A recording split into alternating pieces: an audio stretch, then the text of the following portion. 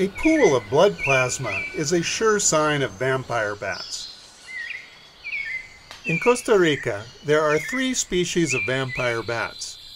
The hairy legged vampire bat is rare, the white winged vampire bat is very rare, and the common vampire bat lives up to its name. The common vampire exists from northern Mexico south to Chile and Argentina. In Costa Rica, the common vampire bat is found wherever cattle are raised, but it is uncommon above 1200 meters. It is very rare in primary forest. In the center of the frame, there are two vampires mating. The smaller male has a firm grip on the fur on her back. And just to mention it, Dracula was from Eastern Europe, where there are no vampires. Vampires are only from the New World. Vampires breed all year round, and a single pup is born after a seven month gestation. One of the most outstanding discoveries made while studying vampires is that members of the colony will share blood with an unrelated individual that didn't get enough food. Who said vampires are bad?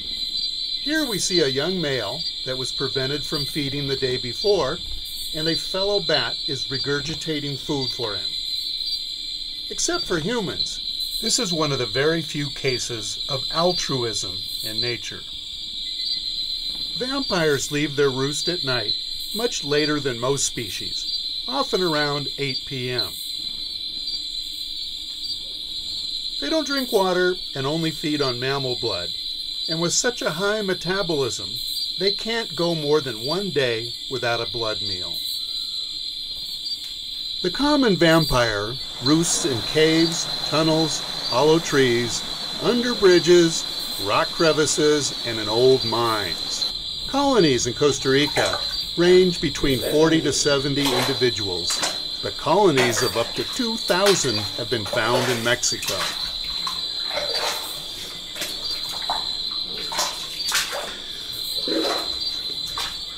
Some populations are bright reddish.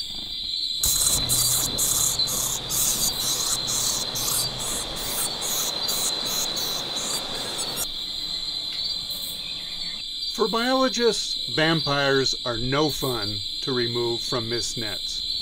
They are agile, slippery, and their bite will make you scream.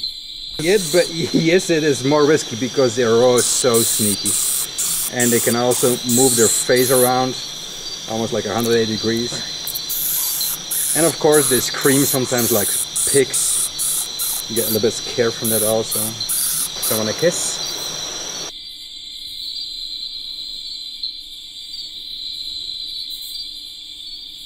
Adios. Vampire bats are very social animals.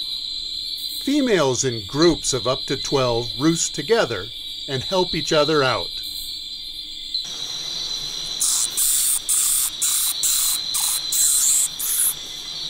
These guys are covered with streblid flies, an ectoparasite. Vampires don't really suck blood, but rather lap it up with their tongue. Only the red blood cells are digested, and the blood plasma passes out in the urine within minutes after drinking. Those teeth are the sharpest known teeth in the natural world. These two thumb pads facilitate walking swiftly and quietly. In pre Columbian times, Vampires fed on large mammals like deer and peccaries, but Europeans brought all kinds of domestic animals that provided great feeding opportunities. It's a lot easier to find a goat in a corral than a peccary running through the rainforest. According to polls, the vampire bat is the third most feared wild animal, yet no one knows anyone ever bitten by a vampire. It is true that vampires can transmit rabies and other diseases, but vampires rarely bite people.